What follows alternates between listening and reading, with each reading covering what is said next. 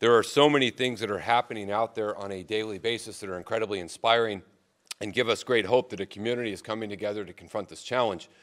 But we know, despite all of that, uh, that there's another side of the challenge we face, uh, and that's San Diegans who are struggling.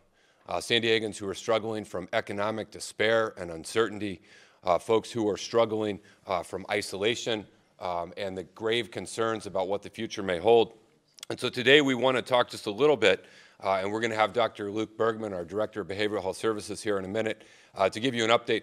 But we want to talk about available resources that are out there uh, because even though we are doing everything we can to protect ourselves from coronavirus, it is important that we protect ourselves in general, that we protect our mental health and our physical health uh, and our spiritual health, uh, as, as, well as the things we're doing uh, to try and avoid coronavirus. If you are a San Diegan and you are in need and you are feeling anxiety or uncertainty or concern, our Access and Crisis line uh, is available 24 7 in over 150 different languages.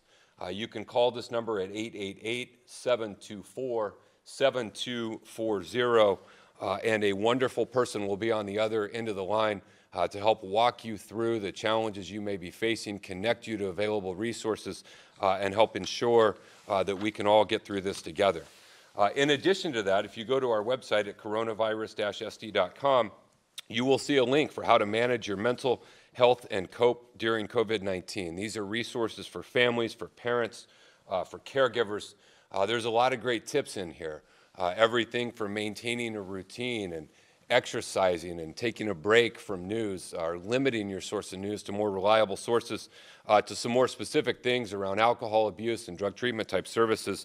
Uh, and we think that it is really important as a region uh, that we all look out for one another uh, and that we're connected to our overall sense of being uh, and not just the efforts surrounding coronavirus.